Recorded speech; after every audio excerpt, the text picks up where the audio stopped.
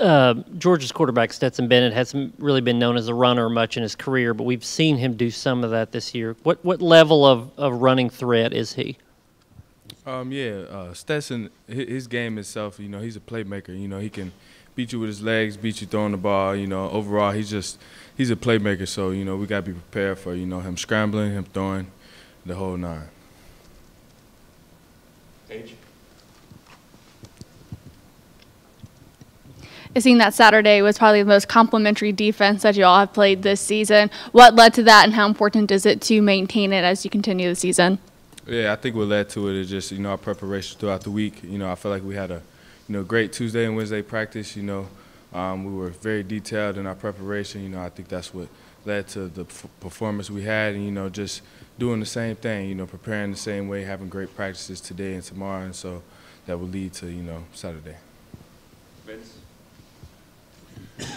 Aaron, you guys as a defense got the three interceptions in the game, all guys getting their first career interceptions, including Juwan. What was that like to kind of keep feeding off you guys getting those turnovers? Yeah, man, that's big. That, that gives us a lot of juice, the whole defense, man. We're out there making plays. We're obviously out there having fun, you know. That just, that, that ups our, you know, our, our, our, feel, our confidence and, you know, just our play itself. Wes, and Mike, and then Patrick.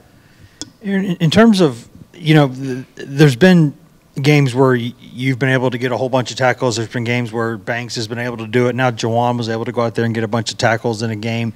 What led to, to him doing that? Was the ball just finding him, or was he just making more plays? Or when y'all watch film, what'd you see?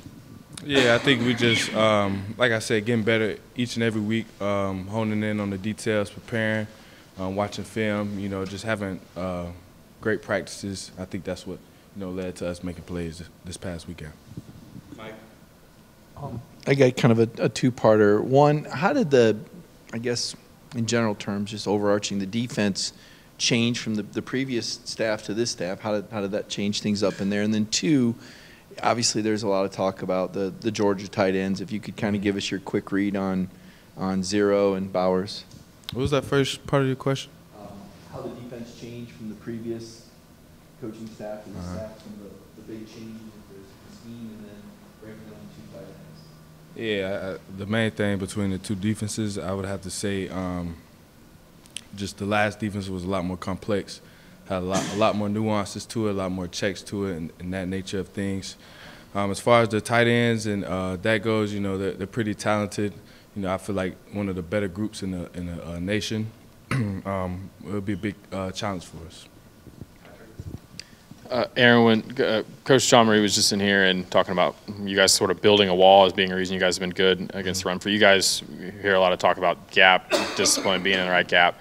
How, how do you guys get good at that? Is that just instincts? Is it scheme and being able to recognize? And, kind of what's the combination of, of, being good at that? I feel like um, watching a lot of film, um, getting the game reps, even the practice reps. You know, just seeing it and feeling it.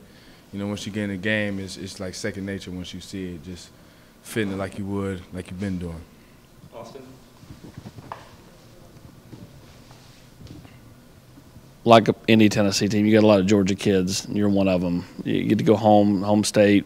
I'm sure you have some friends there, family. Mm-hmm. Um, how how big, how important is this game for you and, and the rest of these Georgia kids? And then uh, uh, you're an old running back. If you had gotten that interception Saturday, do you th- you think you house it instead of Juwan running out of bounds or getting pushed out of bounds?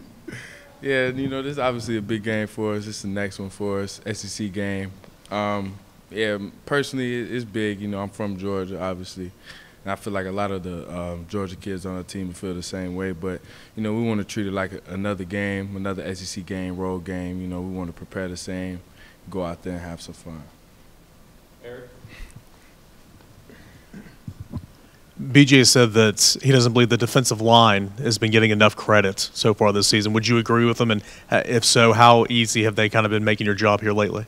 Yeah, man. When you have D line playing like ours been playing, you know, it makes the linebacker job ten times easier. You know, I feel like the, our D line, you know, took a huge step from last year to this year. You know, they're getting a lot of push, a lot of knockback, and you know, they're playing vertical. So you know, that's big for us. That helps us play free and lets us flow.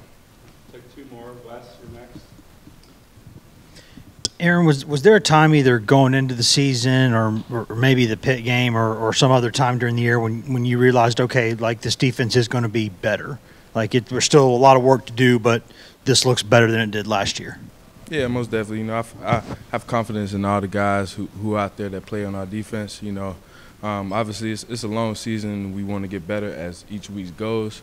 Um, so you know, that's that's the main thing for us, just getting better every time we're out there on the field.